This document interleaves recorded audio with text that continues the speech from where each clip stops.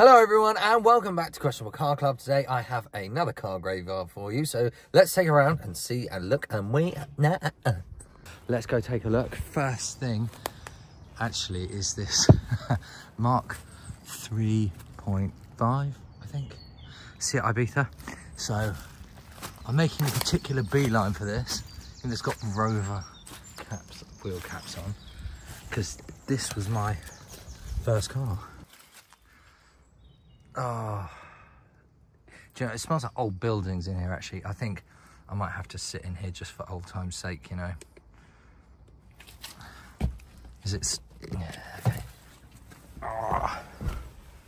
oh, it takes me back. Do you know, I would absolutely love one of these. I still miss mine. I think we all miss our first cars, don't we? And this didn't used to work. You used to have to bash it to get it to do anything. oh. Yeah, mine was in a like a really unusual green, and even if I was to find one, I doubt I'd find one in that colour. Oh, that's a nice little trip down memory lane. Although now I'm in it, I don't know. Got lots of mouse shit in it as well. That's not particularly nice. Maybe I should get out in a minute. I remember it was really gutless. It was a 1.4, but it just did nothing. Oh, well, maybe I'll find one again someday. Yeah, that does bring back a few memories. uh, mine was a W. Uh, never really used to see those in white actually. Anyway, so we've got a few MGs here. Uh, ZS's, Rover 25s. This colour, someone can comment with the name of it. It's such a nice colour. I always say BMWs do the nicest blues, but that is a real runner-up for like the nicest blue ever. Nice old Mercedes here. Let's see what that's like inside. Whoa, that is that is green. And do you know, it's so moldy in here. It actually smells like beer.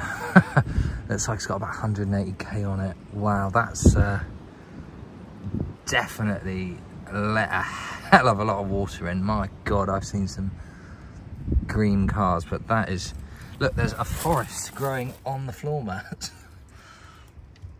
That's actually just quite impressive for how wrecked it is. So there looks like there might be some people in the distance. So I'm going to try and uh, keep a low profile, which is why I'm not going in all the cars because you never know if someone pops their head up. Um, but let's take a look over here. Right, so unplanned technical issues. My gimbal has just decided that it wants to start vibrating like mad. So I'm now hand holding, so apologies if it's a little bit shaky. But uh, yes, these Seat Arosa is really popular, and um, the fuel uh, consumption in them was amazing. Get like 70 miles a gallon out of them, especially the diesel ones. Right, Subaru Forester, that's a relatively new one. 2007 Panda. There's a, a deer shooting tower up there. Mm, this has been uh, pretty destroyed. It's looking rather wet in there. Still a relatively new car to find in the graveyard, but not overly reliable. Subaru Foresters, MGZT. Lots of MGs here, more so than Rovers, which is good because the MGs are more exciting. But uh, that looks rather base specish to me still wet. They've got very wet cars here. Oh, absolutely soaking. Oh, now that's a nice one. There is a E36 BMW 328, which is the BMW to buy if you were ever after one. What's this? Got a note in the window. This has been sold. What? Have been told this car something. I don't know. That's way too um, faded to ever figure out what that says. Is it a uh, a Rover Sterling? Yes. My dad had the 820, which is uh, kind of similar to this. As kids, we loved that car. no, you can't get in it though. Oh, that's a shame. What's the mileage? 68k. A baby. Depending what engine's in it, of course. I have been told, God knows what that says. but here is the E36 to have, unless of course it's an M3, the 328i, and a coupe. Worth a lot of money now. Ugh. And it's open. Bonus. Also smells like abandoned buildings, full of dog hair. Wet floors, just like all the others yet. These things were seriously popular and pretty quick back in the day. And um, then when the E46 came in, they were replaced or overtaken, I should say, by the 330. But there should be, let's see if we can look in the bonnet, under the bonnet, a nice straight six under here, unless it's been pulled out. That's a really good engine, very well built. BMW's best engine, probably this straight six sort of setup. Still got coolant in the uh, windscreen fluid that's maintained its proper colour. well, mind you, it's not looking so fresh on this side. That would be one now that would definitely get pulled out of here if it uh, had the chance, but I don't think it's well. It's got sill cover, so you can't really see the state of it, but by and large, it doesn't look too bad. Uh, 205 Mardi Gras, the car that everybody had. Let's take a look at this Mercedes first.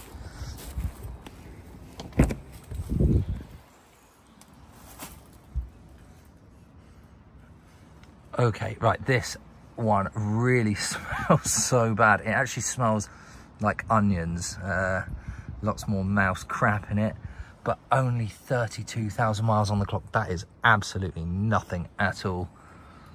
That's shocking. I don't know why on earth you'd leave that here. Makes me wonder perhaps if the person who put them here was a hoarder rather than someone that was saving them. Someone who was hoarding MGs for some reason. Let's have a look at the 205. Although, of course, as every Mercedes, it's had the badge pinched off it.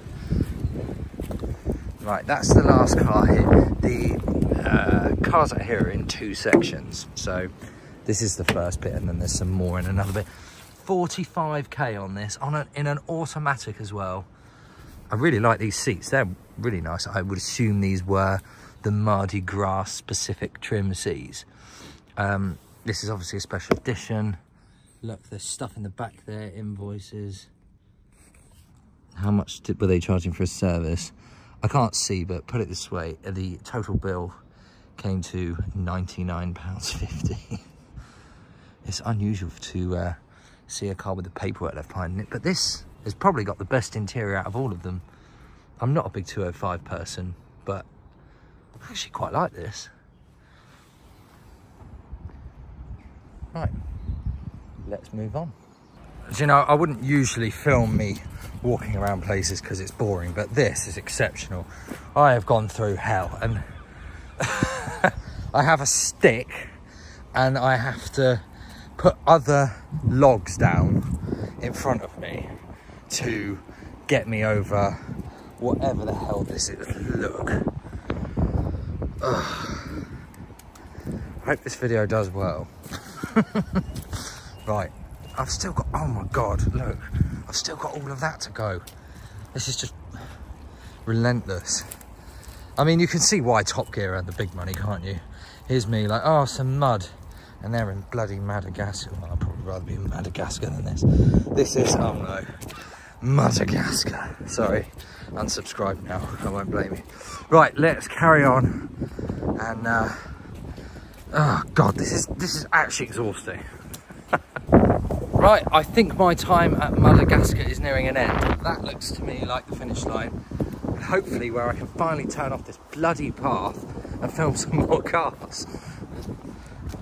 Right, part two is going well. Uh, it is obviously a Subaru Impreza with Colin McRae's signature on it. So you know it's been raced. If in doubt, flat out, of course. Those axle stands don't look too old, but cover's missing. So let's take a closer look at this Impreza because this is clearly the most important car here. Definitely the standout car, isn't it? Even better than the old Mercs. A little bit rusty there, but this is a 1993 So it is the earliest year that you could get one of these. And underneath, yeah, flat four boxer engine. Had a few things done to it by the looks of it, obviously. No one keeps one completely standard. Oh, that's uh, pretty crispy in there. Maybe these are hiding battle scars or just holding the panel on together. Yeah, holes down here. This is a crispy car. Sills don't seem too bad though. Oh no, they they've been cut out of the back actually, but yeah, underneath, that's uh, hmm, not looking good. And I don't think that's only four years worth of rust either. Let's uh, take a look inside. So, uh, now see, this interior is nice. They've done the uh, racing harness, obviously.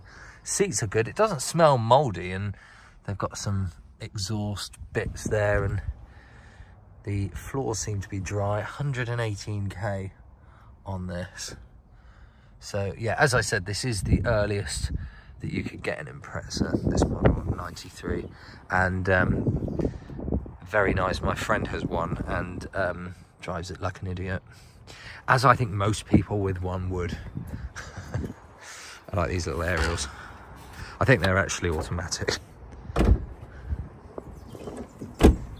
It's got a little bit of bubbling coming up here and I think that's the least of its worries though because it has no back window. so yeah, all the rain is just going to go straight in the boot and rot that straight through as well. That is a shame. I'm surprised actually given that it has no back window that it's not mouldy inside. The interior is probably savable, which is odd. But um, yeah, they've definitely, uh, they've covered it up and the cover is blown off. Maybe that was keeping the rain out at some point. They haven't come back to do anything to it since. Got to have your uh, stickers on there, of course. Yeah, look, this is uh, this is really far gone. I don't think this will be saved. If it was maybe something like an RA or like a really special edition one, perhaps it might have been. But unfortunately, I think this is too far gone. It's on uh, stock wheels. That's for the fact that the rest of it's been changed. The fact that it's on stock wheels is uh, really unusual. But yeah, isn't that crusty? Look, everything would need to be completely fixed. God, I did not believe that Colin McRae died in 2007. Seems like a lot more recently than that. I love this badge as well. Real 90s thing. I used to play, obviously, a lot of Gran Turismo when I was a kid. And uh, this was my brother's favourite car when we were kids. And mine was the Skyline. But, um, yeah, I haven't found any Skylines yet. But, yeah, this is my first Impreza. But, yeah, that's uh, not looking too good at all, is it? Right, well, let's go and take a look at some of the other cars here. More Rovers very smashed in, well, MG I should say. Same as a Rover 75 of course, but uh, mm. Clio's in a bush. God. It's a really odd division of the land here because I'm in a completely different place. Another Subaru, oh look at that. Ah, oh, Mercedes 300 SEC. Can I get over to that? I don't think I can. Oh, it's destroyed. That's a shame. Do you know, the more of these old Mercs that I find, the more I kind of want an old Merc, but I've got far too many other cars to be taking on more stuff. Some modern stuff. Now, what's that in the bushes over there? God knows. Probably another MG, but I'll have a look in a minute. And an Astra. Doesn't that just look like nicked? Nicked in Essex, dumped on a lane.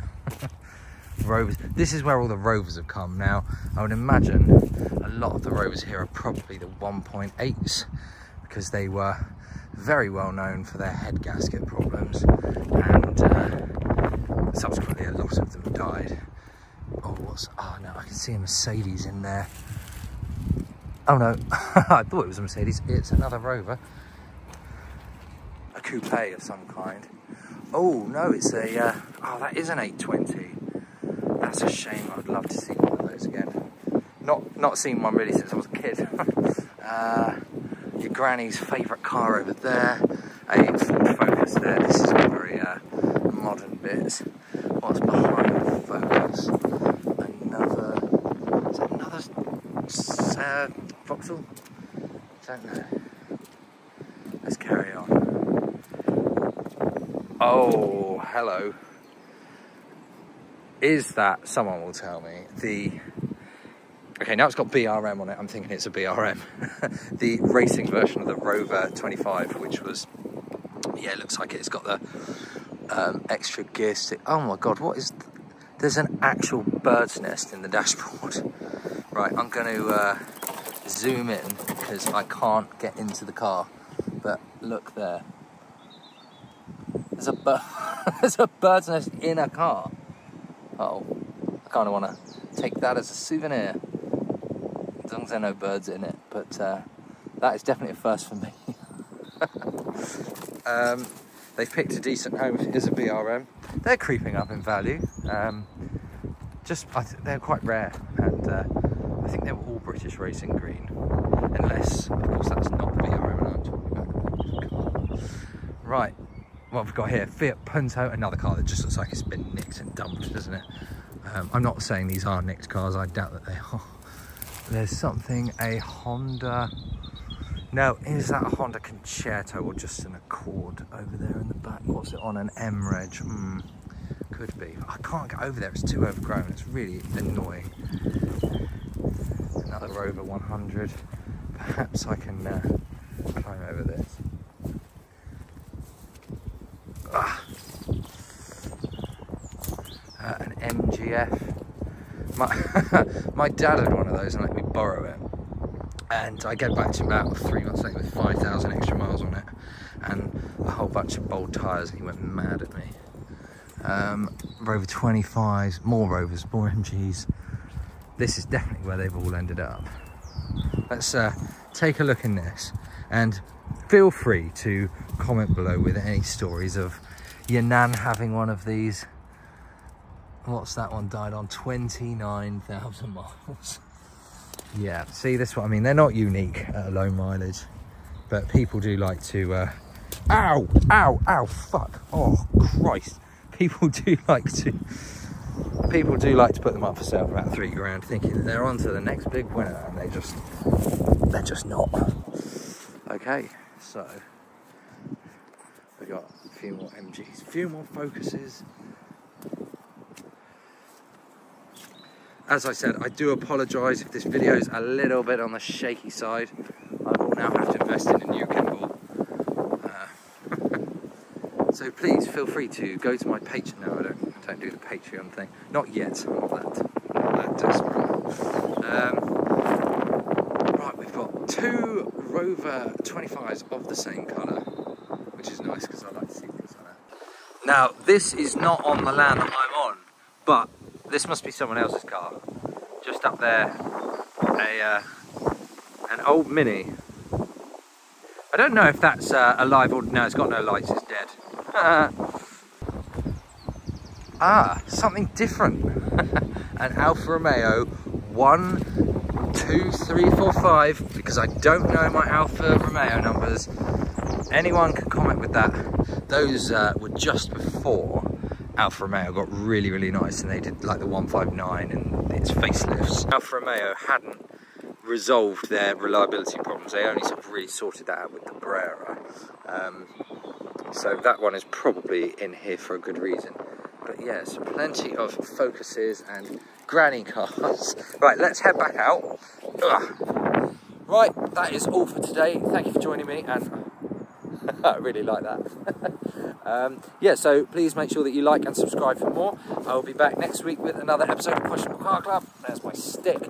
I'm going to now walk about half a mile through the mud and go home. Make sure that you check me out on Instagram at AutoAddictJames and on TikTok at Questionable Car Club. I'll see you next week.